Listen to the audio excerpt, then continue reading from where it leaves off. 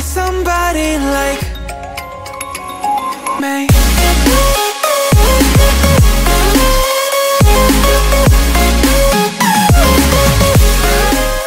This is a review of MPI ending first quarter of 2023. Kasi, dami nagre-reklamo dito.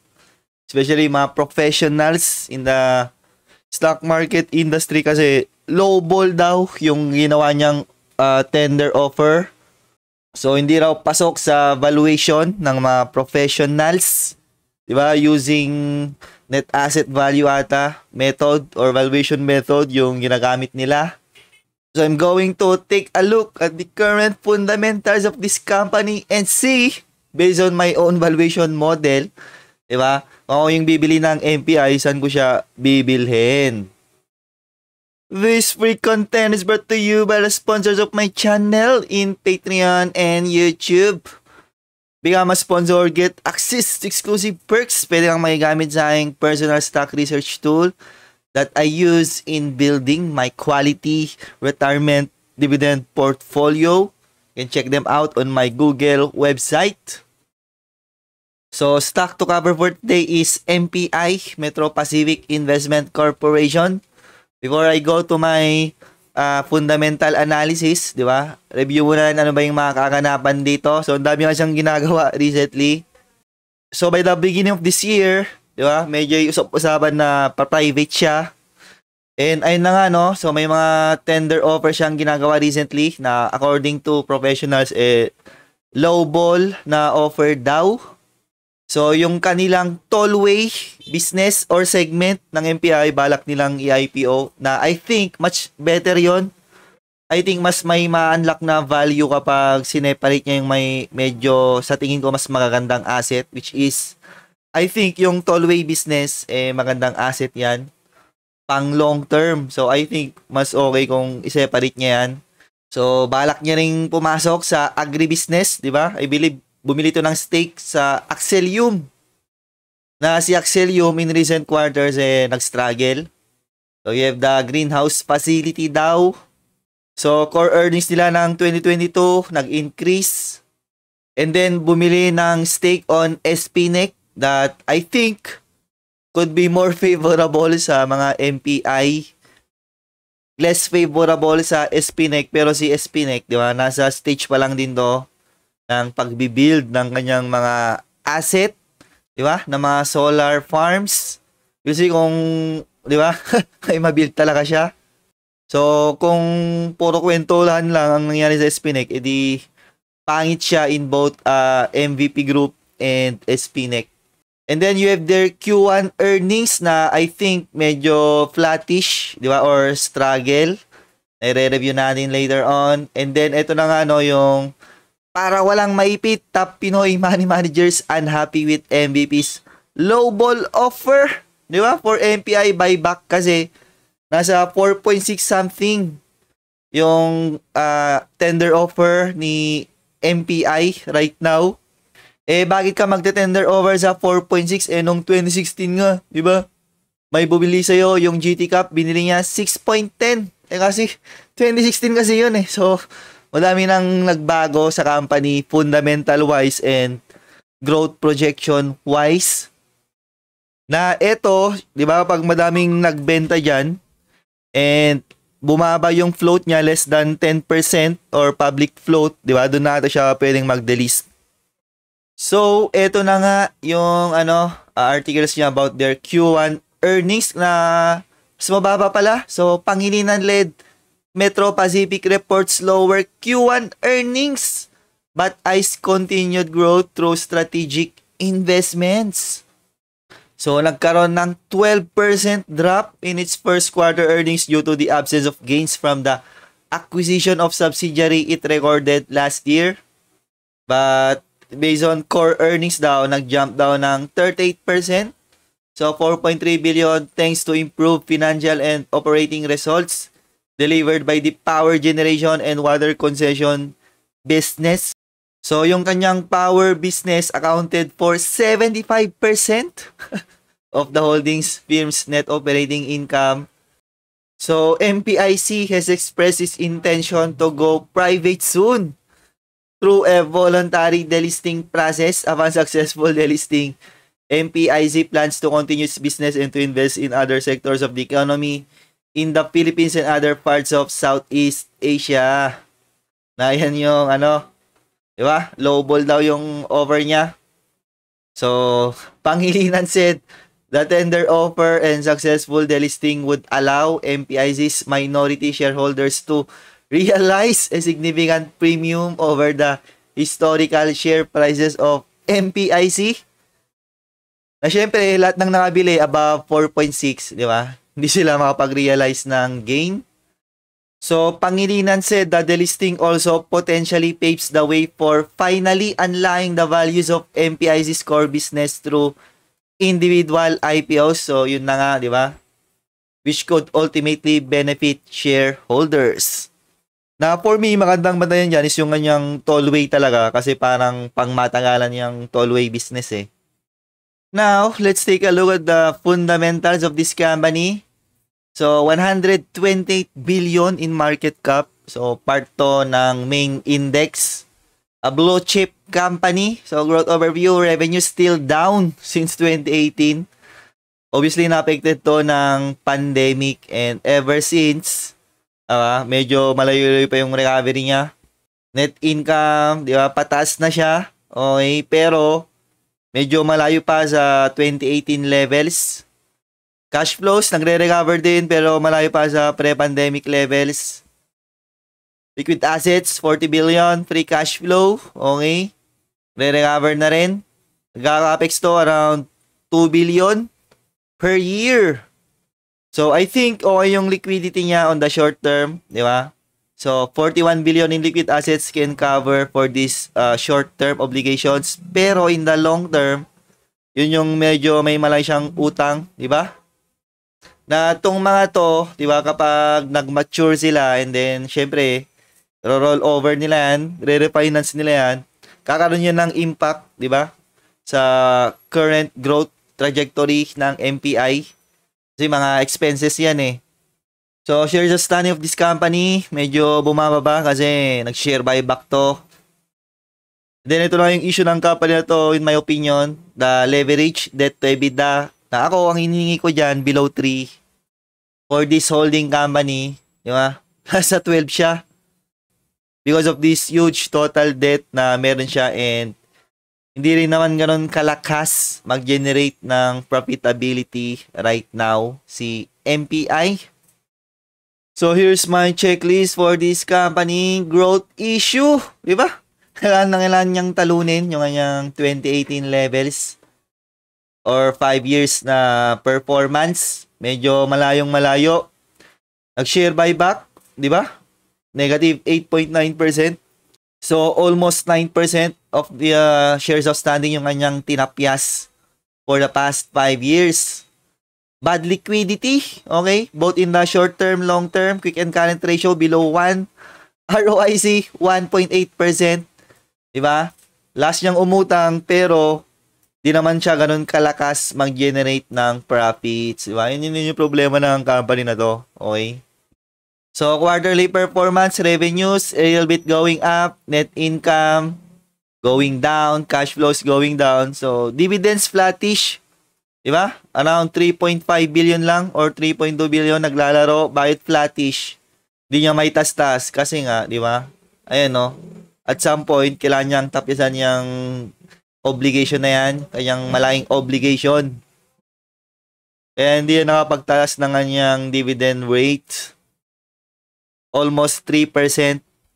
Di ba? Year over year. At its current price, ganun na lang talaga siya mamigay ng dividends. So now, doon na tayo sa fair valuation ng company na to.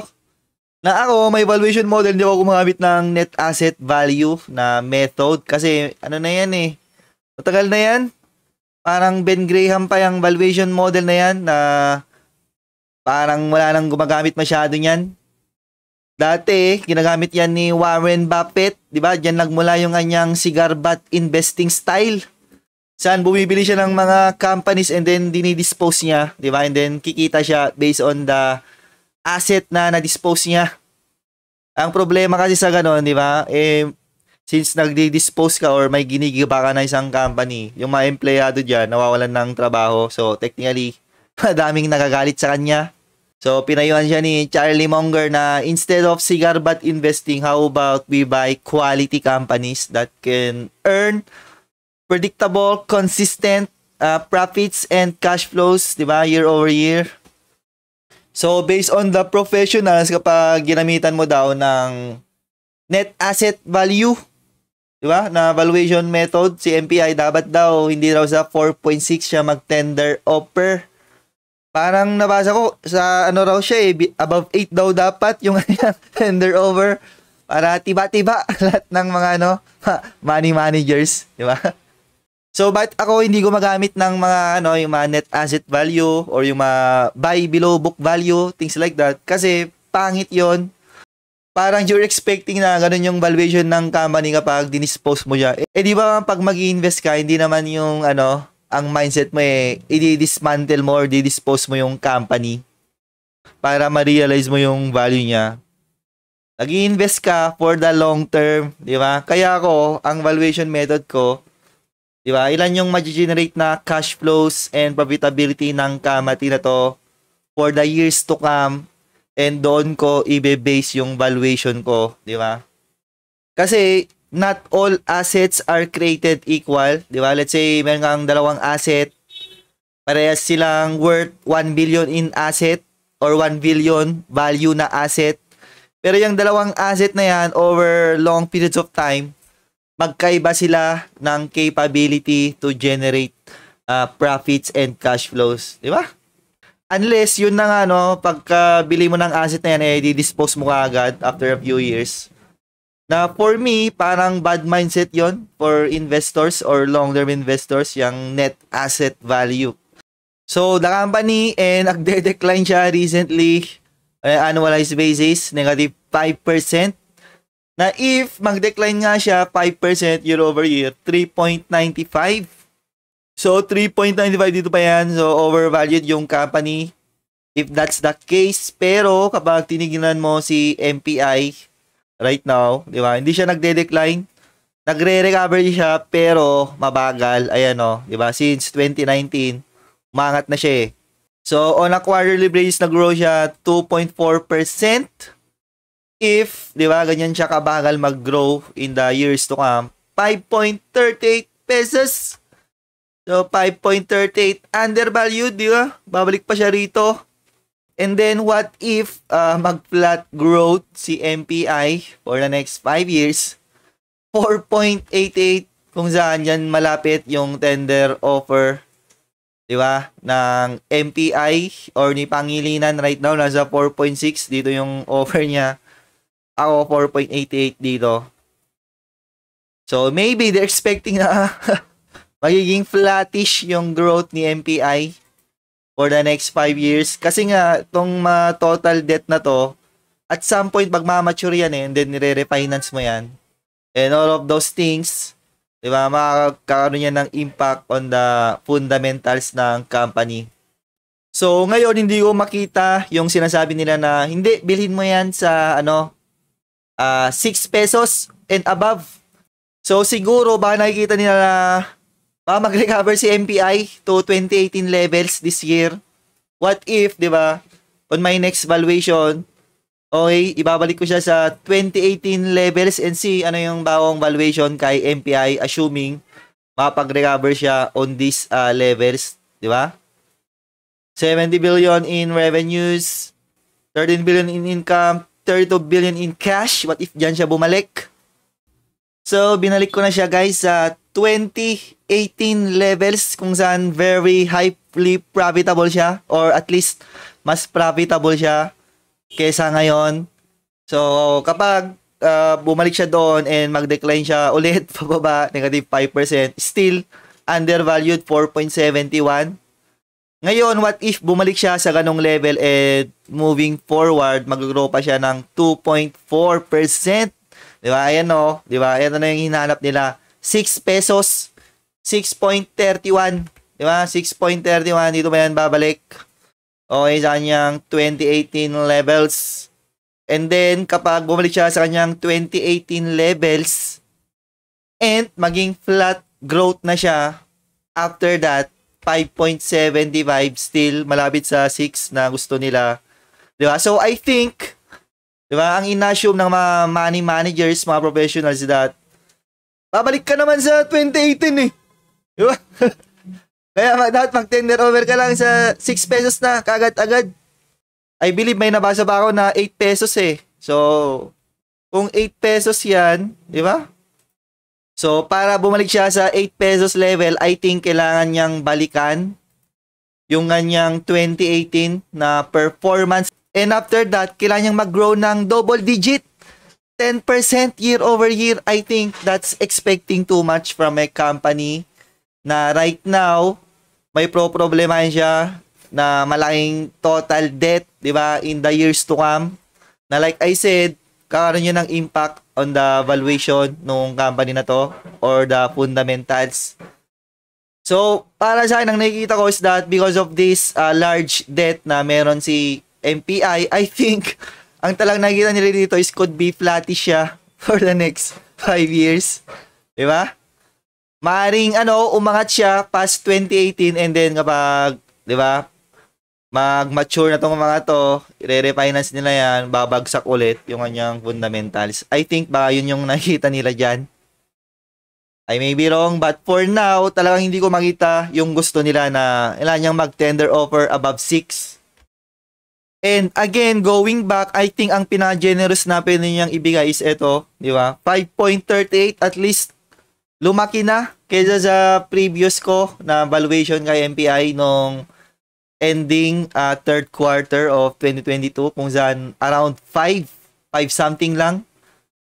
Ngayon, nasa 5.3 na. So, technically, I think yan yung highest offer niya possible. Ngayon, if let's say about uh, mid-single digit, so pwede, di ba? Pag nag-grow siya, mid-single digit, di ba? Based on current fundamentals right now, pwede rin 6, pero sa trajectory ni MPI, medyo mukhang ano eh, mukha siyang flattish right now eh. Medyo mukhang malabo yung 5% eh. We'll have to find that out in the next few quarters. But for now, di ba, pinaka-optimistic kong tender over sa kanya is around 5.3. And that's it. That's my analysis of MPI ending first quarter of 2023. Thank you and bye-bye. Like subscribe.